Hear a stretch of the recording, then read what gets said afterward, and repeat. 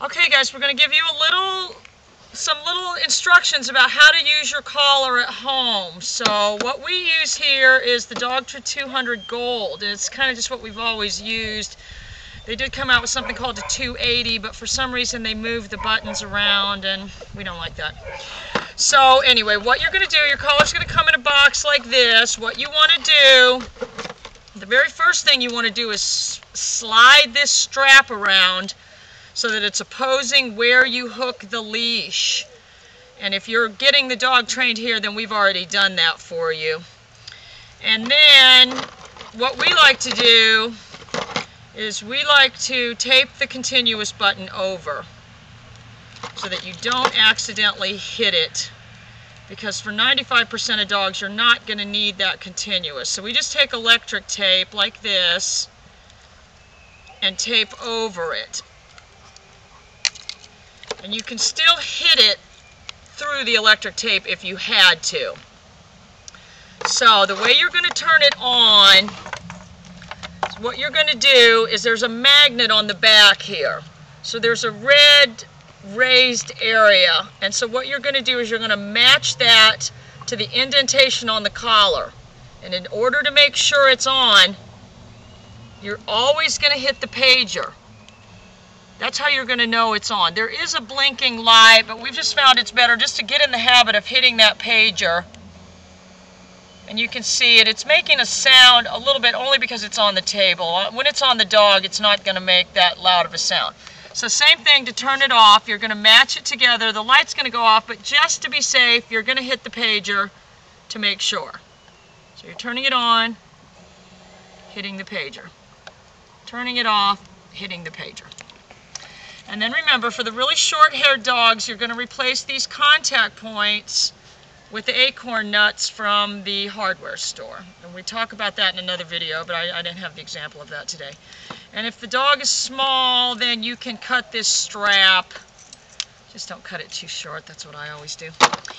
And then in order to charge it, the way we do it, you want to put a full charge on it. And again, if you're getting a dog from us, or you're getting the dog trained, we've already done this for you, but you want to make sure the collar is turned off and the remote doesn't have any on or off, so that's always off unless you're hitting the button.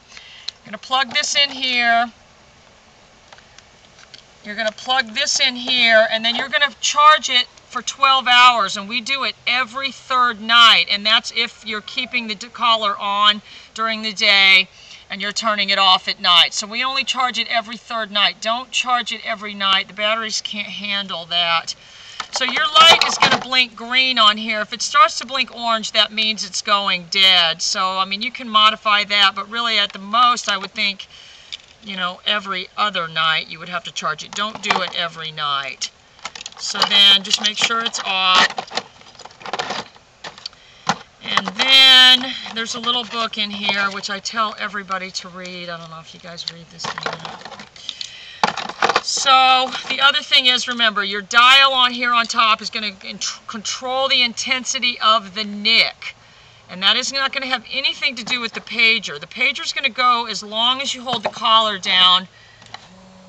And I want to say it's for 12 seconds, but in, in this time, 12 seconds is an absolute eternity. That's an eternity right there for a dog. You're almost never, I can't even recall ever having held it down that long. So then it'll shut off and you'll have to lit up the button.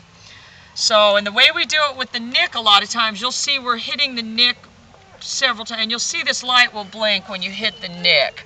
But a lot of times we're hitting the nick several times in a row. If you just hit it, it's a pre-timed nanosecond. The continuous, that's again going to go for the 12 seconds, which the standard was always 8 seconds. I don't know why they changed it. So anyway, and then remember you guys, for the videos, we use something called the sound box. So that's this little box right here. And it's set up to this particular collar. So remember, on the, and we're only using this for the videos, you guys. I get all kinds of emails. People, you know, think that the collar has something to do with the sound, but that's that's the pager. When you hear that, and then this is the nick, and the nick is going to have to do, the lower it is, so that's on zero, and you can see it's very soft.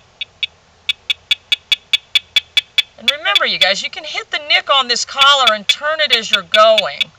So say the dog saw something, you can turn it up as you're going. And then the continuous, so the continuous on this is different than the Tritronics continuous. The Tritronics continuous is more of what we call a straight line. This is a stutter continuous. So it's, it's, it's sort of several nicks put together, but for, for the most part, you guys, you're not going to be using the continuous. Most people aren't going to need the continuous. Occasionally, we'll do something we call bump the continuous, and that's going to be... So that's what we call a bump, just a quick, but that, you hear the difference between eh, that, that's why this is pre-timed. If I was just, actually the original collars didn't have the nick, and you would have to, they would try to say nick, but you see you can't even, you, it's not possible. So if you needed to bump the continuous, that's just as, that's as fast as I can do it, and you can see that's a lot longer than the nick. So anyway, you guys, that's just a few tips. If you guys have any other questions about the collar, and the other thing, they are totally waterproof. This collar is totally waterproof.